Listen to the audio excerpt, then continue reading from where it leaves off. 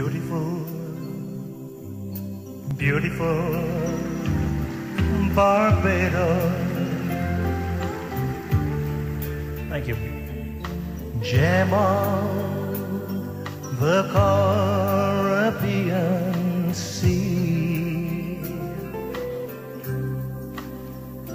Come back to my island, Barbados. Come back to my island.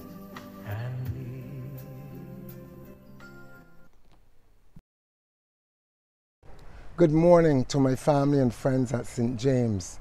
This is sending a quick note and a lot of love from here at my home in Tino Terrace, Florida.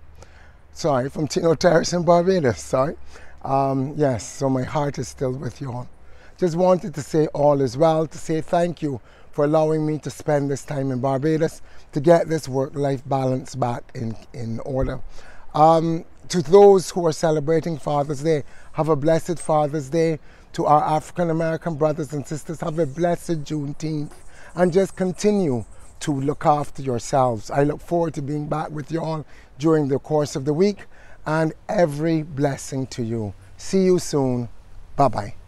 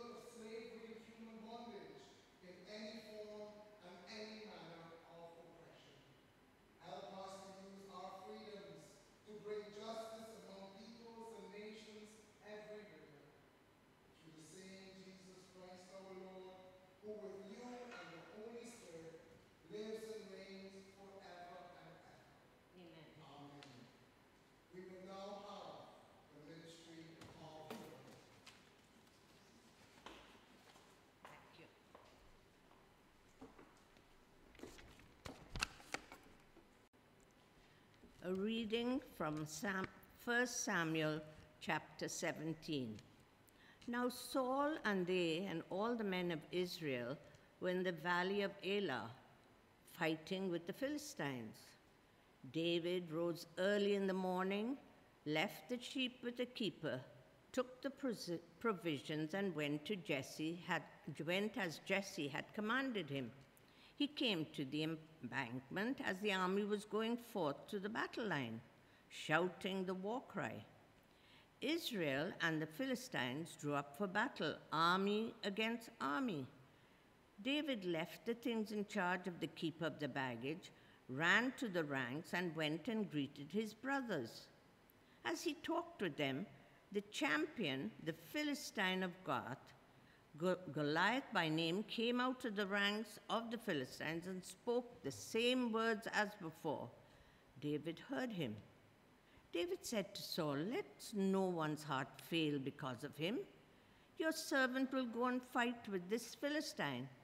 Saul said to David, You are not able to go against this Philistine to fight with him, for you are just a boy and he's a warrior from his youth. But David said to Saul, Your servant used to keep sheep for his father, and whenever a lion or a bear came and took a lamb from the flock, I went after it and struck it down, rescuing the lamb from its mouth. And if it turned against me, I would catch it by the jaw and strike it down and kill it. Your servant has killed both lions and bears, and this uncircumcised Philistine shall be like one of them, since he has defied the armies of the living God. David said, The Lord who saved me from the paw of the lion and the paw of the bear will save me from the hand of this Philistine. So Saul said to David, Go and may the Lord be with you. Saul clothed David with his armor, put a bronze helmet on his head, and clothed him with a cloak of mail. David strapped Saul's sword over the arm, and he tried in vain to walk, but he was not used to them. Then David said to Saul, I cannot walk with these, for I am not used to them. So David removed them. Then he took his staff in his hand and chose five smooth stones from the wadi and put them in his shepherd's bag, in the pouch. His sling was in his hand, and he drew near to the Philistine. The Philistine came on and drew near to David with his shield bearer in front of him. When the Philistine looked and saw David, he disdained him, for he was only a youth, ruddy and handsome in appearance.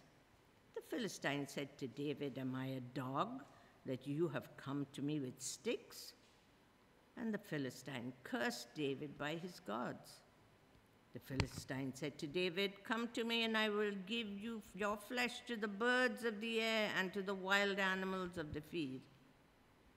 But David said to the Philistine, You come to me with sword and spear and javelin, but I come to you in the name of the Lord of hosts, the God of the armies of Israel, whom you have defied. This very day the Lord will deliver you into my hand, and I will strike you down and cut off your head. And I will give the dead bodies of the Philistine army this very day to the birds of the air and to the wild animals of the earth, so that all the earth may know that there is a God in Israel, and that all this assembly may know that the Lord does not save by sword and spear for the battle is the Lord's, and he will give you into our hand. When the Philistine drew nearer to meet David, David ran quickly towards the battle line to meet the Philistine. David put his hand in his bag, took out a stone, slung it, and struck the Philistine on his forehead. The stone sank into his forehead and he fell down onto the ground. The word of the Lord.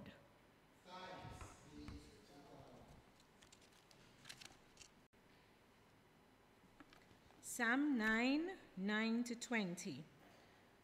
The Lord will be a refuge for the oppressed, a refuge in time of trouble.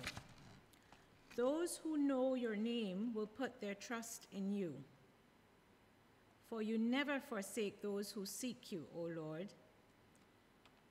Sing praise to the Lord who dwells in Zion. Proclaim to the peoples the things he has done. The avenger of blood will remember them. He will not forget the cry of the afflicted. Have pity on me, O Lord. See the misery I suffer from those who hate me, O you who lift me up from the gate of death, so that I may tell of all your praises and rejoice in your salvation. In the gates of the city of Zion. The ungodly have fallen into the pit they dug, and in the snare they set it, they set it, they set is their own foot caught. The Lord is known by his acts of justice. The wicked are trapped in the works of their own hands. The wicked shall be given over to the grave, and also all the peoples that forget God. For the needy shall not always be forgotten, and the hope of the poor shall not perish forever. Rise up, O Lord, let not the ungodly have the upper hand. Let them be judged before you. Put fear upon them, O Lord. Let the ungodly know they are but mortal. Glory to the Father, and to the Son, and to the Holy Spirit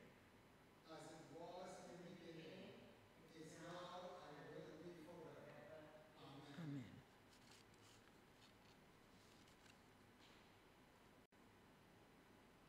A reading from 2 Corinthians chapter 6 verses 1 to 13. As we work together with Christ, we urge you also not to accept the grace of God in vain, for he says, "At an acceptable time I have listened to you, and on a day of salvation I have helped you." See, now is the acceptable time. See, now is the day of salvation. We are putting no obstacle in anyone's way, so that no fault may be found with our ministry. But as servants of God, we have commended ourselves in every way, through great endurance, in afflictions, hardships, calamities, beatings, imprisonments, riots, labors, sleepless nights, hunger, by purity, knowledge, patience, kindness, holiness of spirit, genuine love, truthful speech, and the power of God. With the weapons of righteousness for the right hand and for the left, in honor and dishonor, and ill repute and good repute. We are treated as impostors and yet are true, as unknown and yet are well known, as dying and see, we are alive, as punished and yet not killed, as sorrowful yet always rejoicing, as poor yet making many rich, as having nothing and yet possessing everything. We have spoken frankly to you, Corinthians. Our heart is wide open to you. There is no restriction in our affections, but only in yours.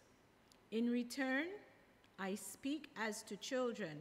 Open wide your hearts also. The word of the Lord.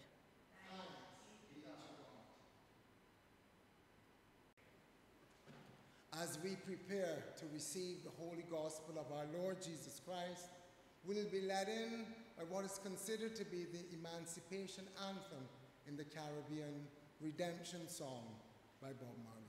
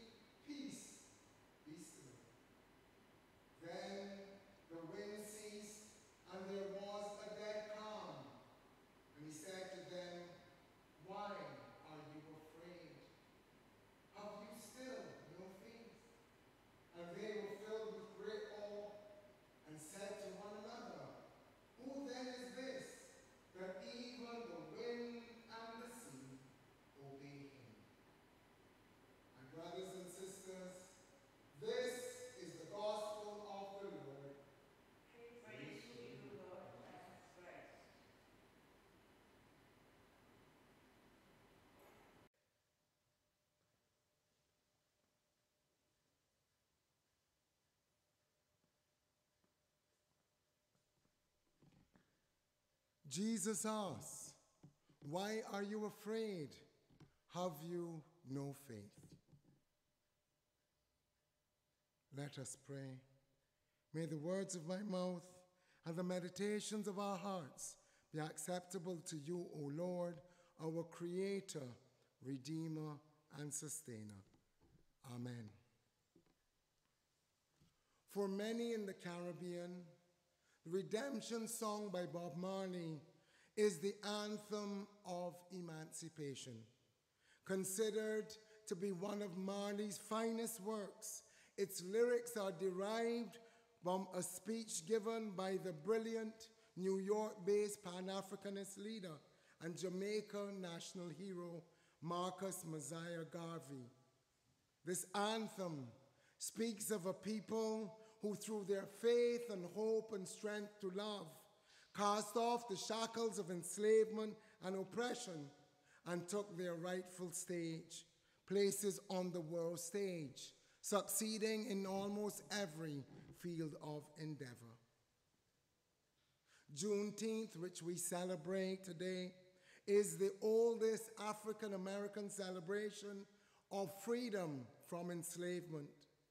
Notwithstanding President Lincoln's Emancipation Proclamation on the 1st of January 1863, in some slave states, that proclamation was not enforced until two and a half years later, on the 19th of June, 1865. We have to come to terms with in this nation that notwithstanding the self evident truths contained in the, the Declaration of Independence, notwithstanding um, Amendment 14 to the Constitution, notwithstanding the Reconstruction era and civil rights movement, notwithstanding our entry into the 21st century, African Americans continue to suffer the burden of centuries of injustice and inequality and the perpetuation of systemic racism. The recent emergence of the Black Lives Matters movement is a response to this reality. Excuse me, and to say Black Lives Matter doesn't mean that Black lives are more important than other lives or that all lives don't matter.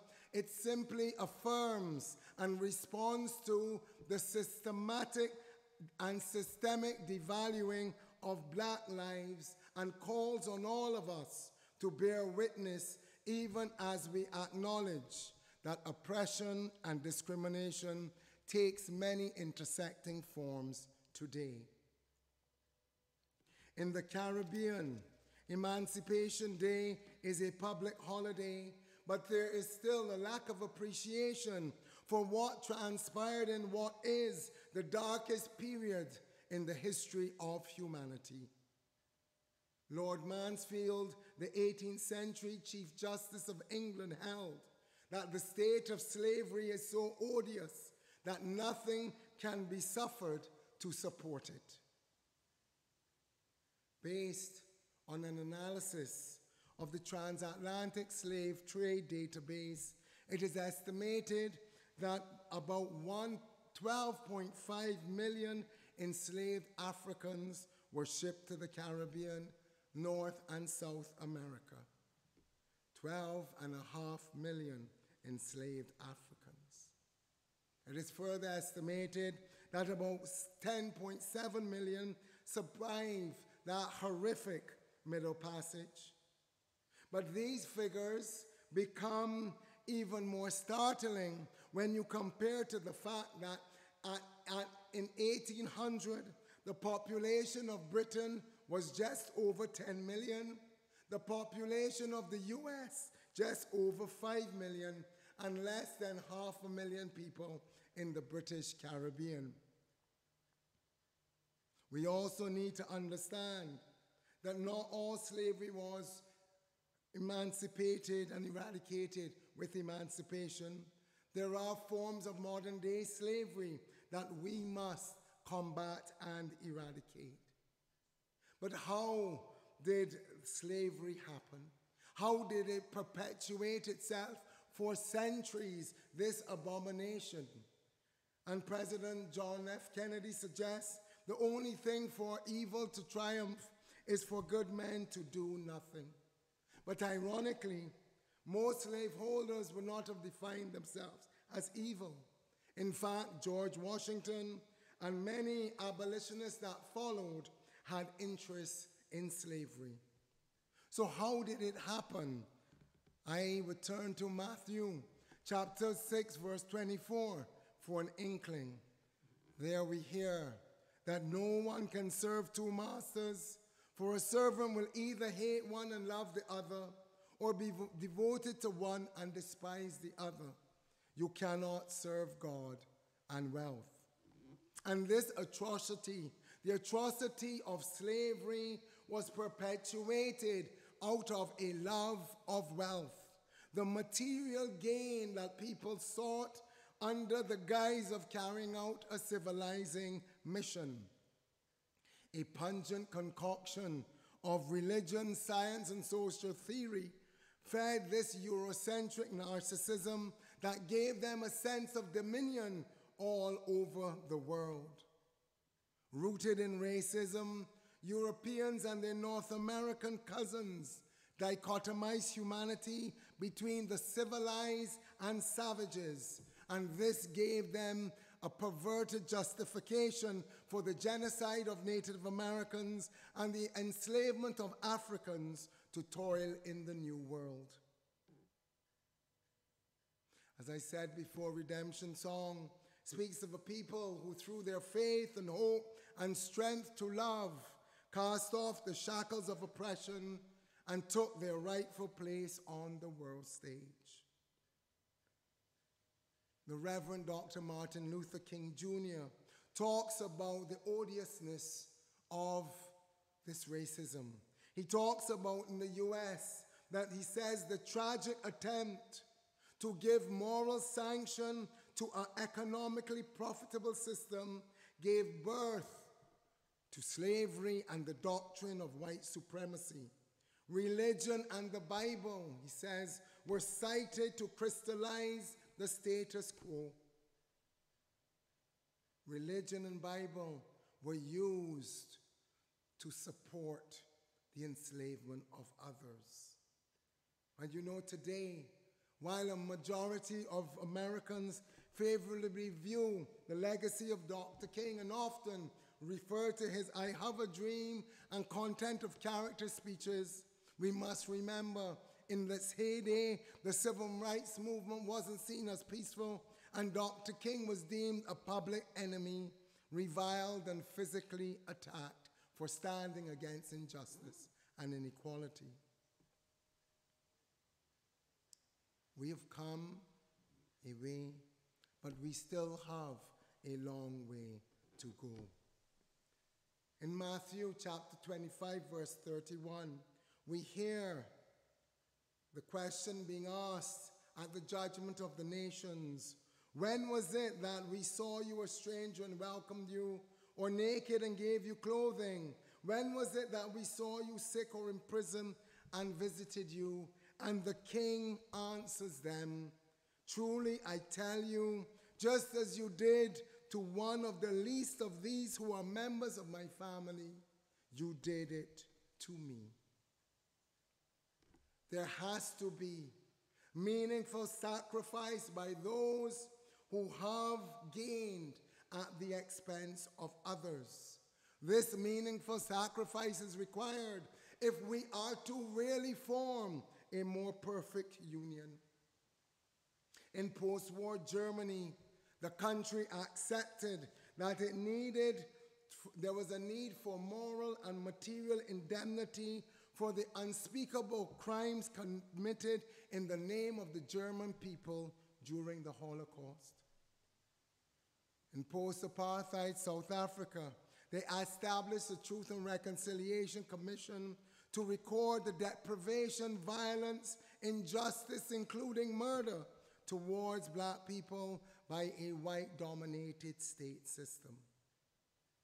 The United States is at a crossroads but it has come to forks in the road before. At its inception, the country could have pursued building a utopia based on the promises of the Pilgrim Fathers. But instead, they chose genocide and slavery. At the conclusion of the Civil War was another turning point when reconciliation was possible, but the Reconstruction era was brought to a premature end at the expense of the full citizenship of black people. Another opportunity was presented at the conclusion of Jim Crow era, but again, the country omitted to guarantee the full citizenship of African Americans by taking the path of gradualism, seeking to institute progress through legislation that was constantly blocked, challenged, or reversed. Today, the nation is again at an inflection point and is able to address the wrongs inflicted on African Americans and affirm that Black Lives Matter and that George Floyd Jr. and others didn't die in vain. Institutional and systemic relation, racism has been to this society and economy an invisible driver of the dispossession of African Americans. And as such, reparations are required to redress this historic disadvantage. Not every wrong can be made right, but it is important to address the rebalance, the inherent and destructive white privilege that has been built into the history of America and its intimacy with racial violence, social justice, and legislative inequality. The king tells us, Truly I tell you, just as you did to the least of these who are members of my family, you did it to me. We pray, we pray that these United States will take the road less traveled to become out of many one. And as we journey in faith towards that day of unity and equality, we will hold to Micah chapter 6, verse 8, where Micah tells us to do justice, to love kindly, and to walk humbly with our God. Let's keep hope alive. In the name of the Father, and the Son, and the Holy Spirit. Amen.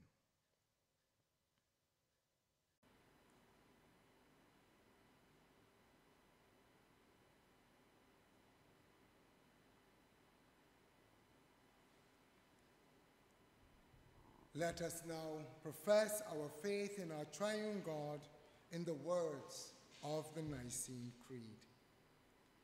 We believe in one God, the Father, the Almighty, maker of heaven and earth, of all that is seen and unseen.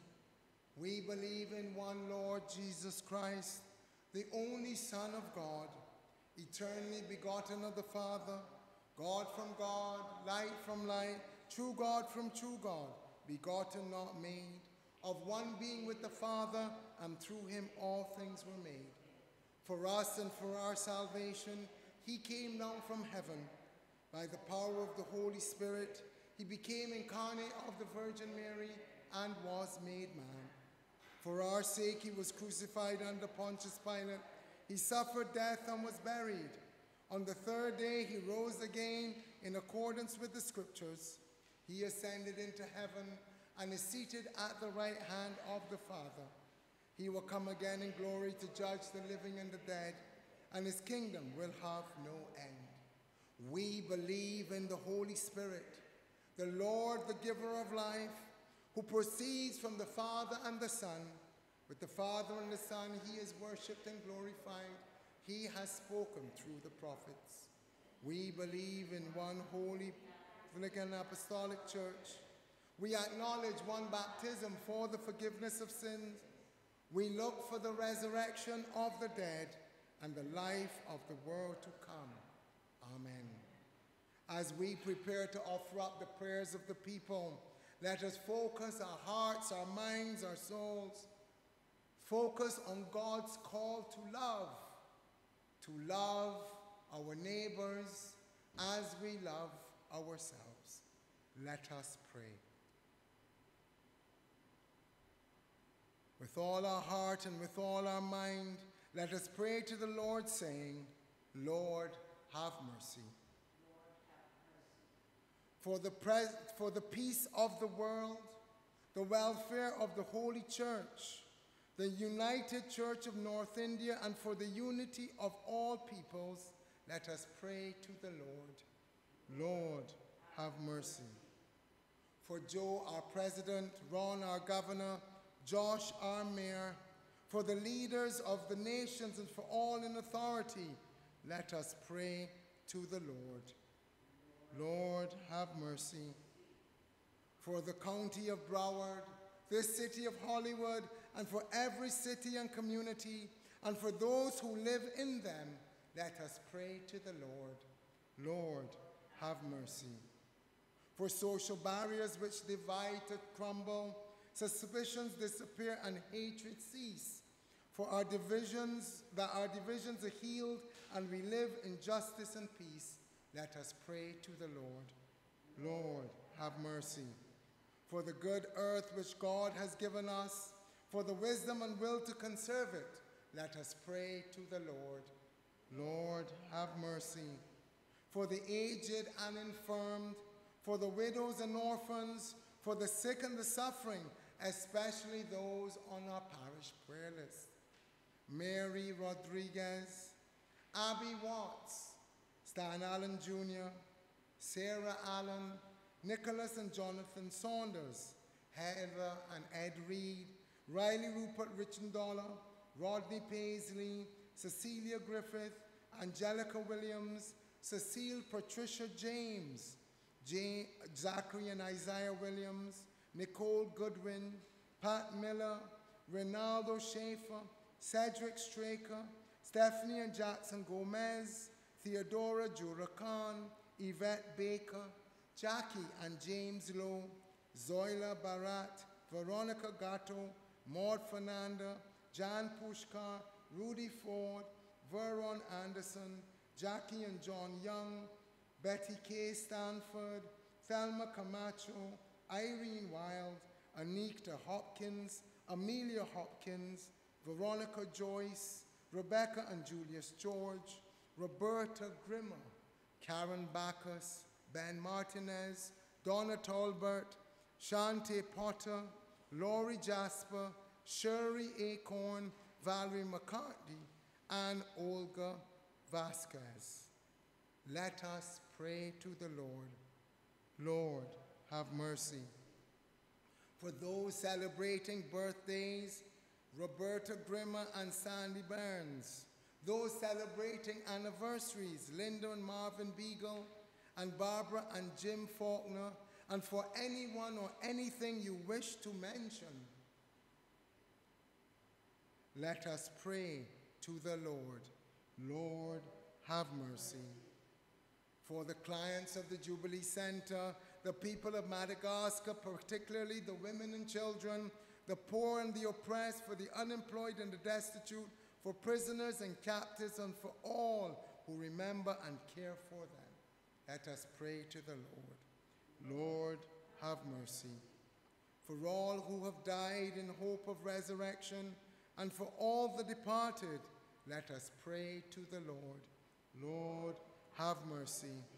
For deliverance from all danger, violence, oppression, and degradation, and for all those dealing with the COVID 19 pandemic, let us pray to the Lord.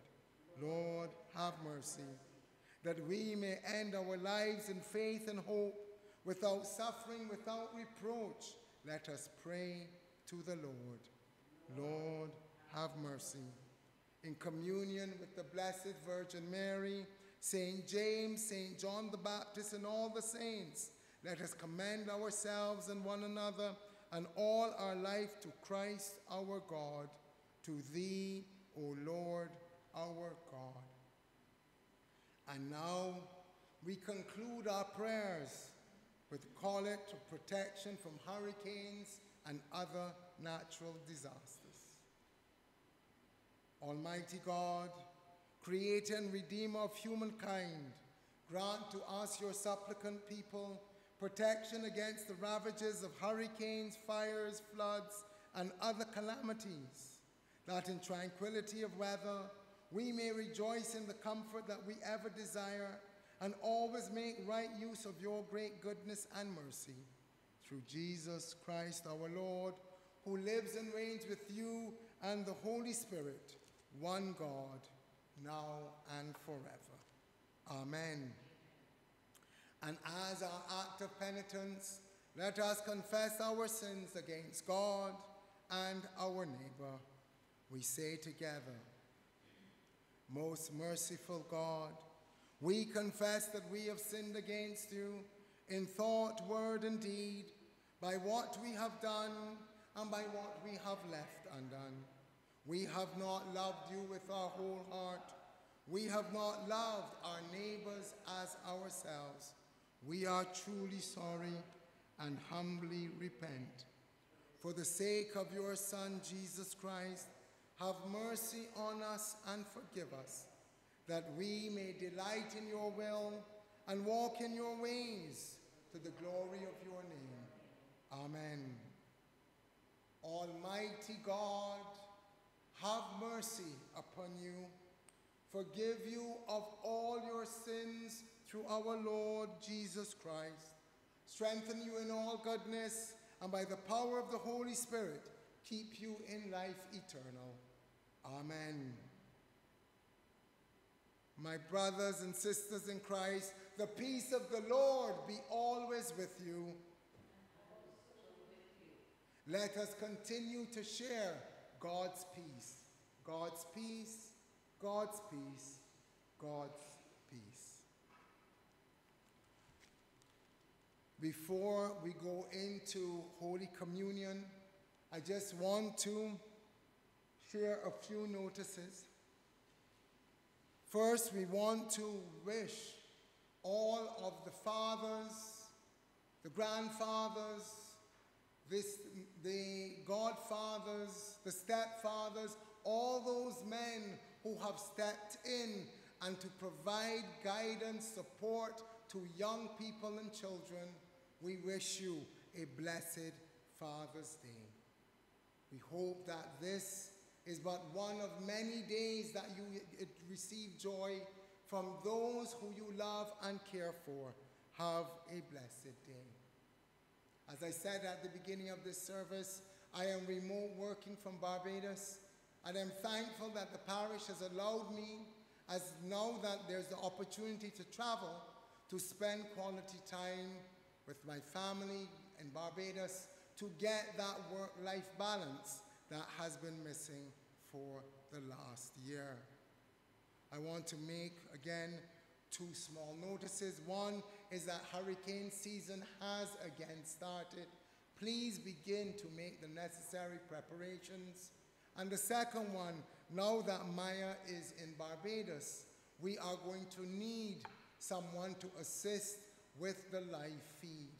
If we don't get a person to assist with this, those who are home, who are unable to join us for worship, will not be able to participate in our service. I do hope that in the spirit of love and neighborliness, somebody who can do this will step forward. Those are, the, eh, those are our notices. They're all detailed in the bulletin, so please read. And we will now begin to proceed to the preparation for Holy Communion with the hymn, Lift Your Voice and Sing.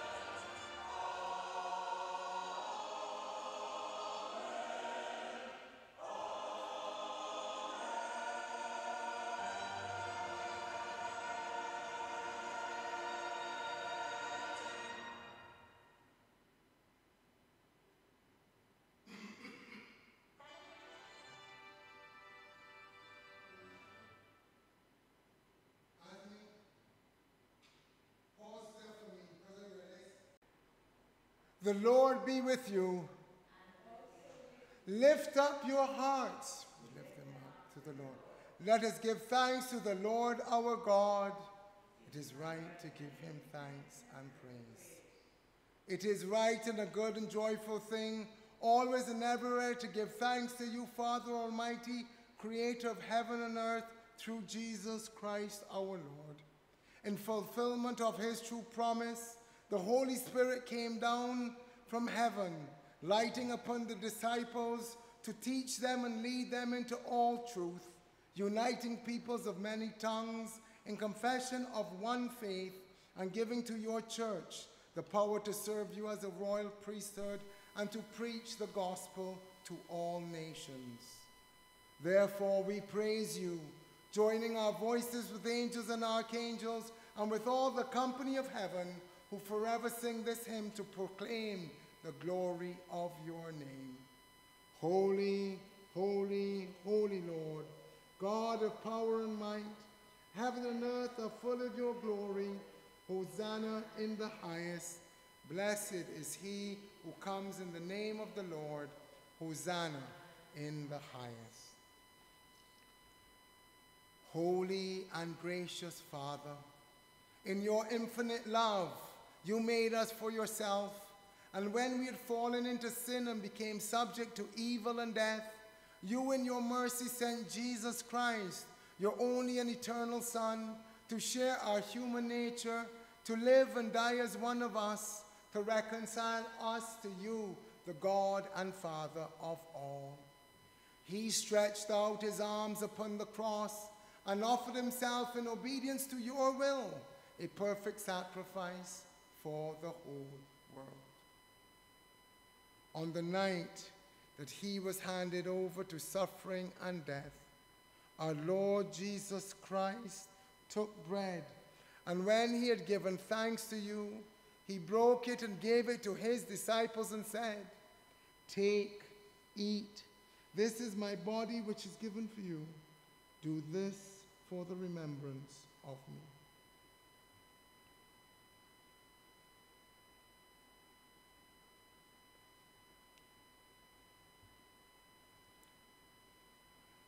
And after supper, he took the cup of wine, and when he had given thanks, he gave it to them and said, Drink this, all of you. This is my blood of the new covenant, which is shed for you and for many for the forgiveness of sins. Whenever you drink it, do this for the remembrance of me.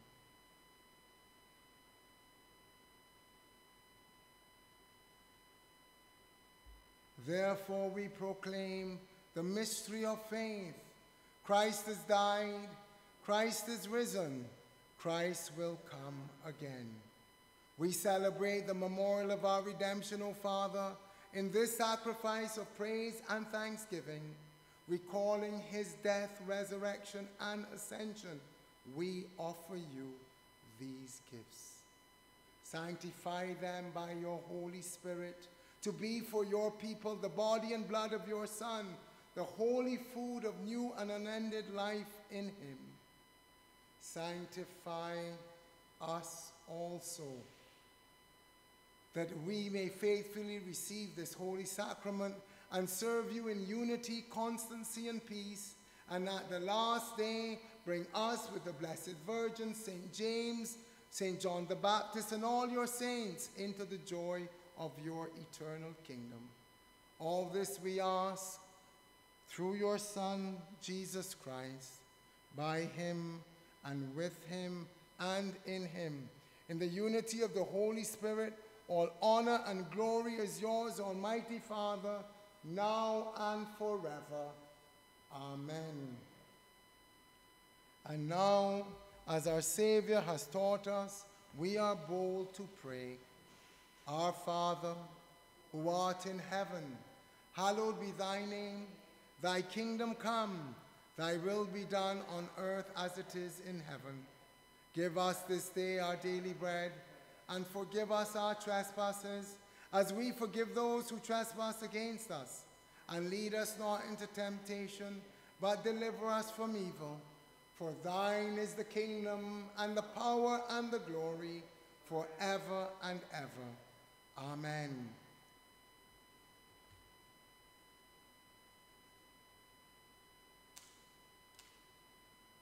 Christ, our Passover, is sacrificed for us. Therefore, let us keep the feast.